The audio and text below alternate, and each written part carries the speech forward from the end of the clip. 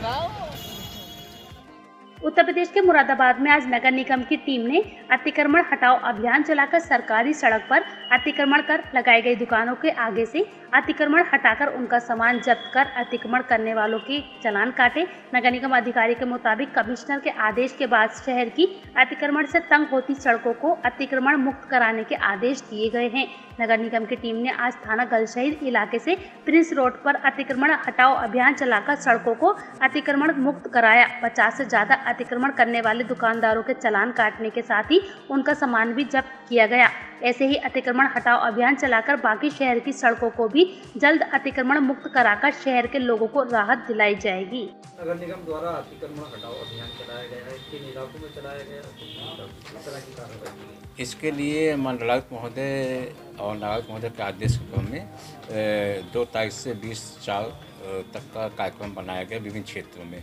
इसके लिए नगर निगम के सहायक अधीक्षक इंस्पेक्टर्स और प्रवर्तन दल के द्वारा विभिन्न क्षेत्रों में कार्यक्रम के अनुसार अतिक्रमण अभियान चलाया जा रहा है और इसमें जुर्माना भी वसूला जा रहा है।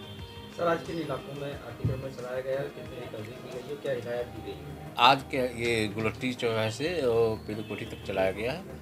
और इसमें जो रोड पट्टी पर लगाए गए थे, उनको अंतिम चेतावनी दी गई कि आप लोग अपना सामान अंदर रख अन्यथा नगर निगम इसको जब्त कर लेगा और इस पर जुर्माने की वसूली भी की जाएगी, जिसका मतलब और हर्जे खर्चे का भी उन्हीं से वसूला जाएगा।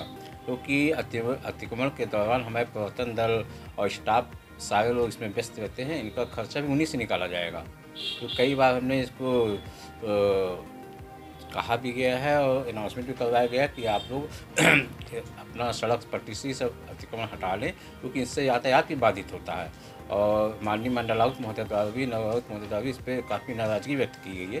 तो ये अभियान बीस तारीख से चल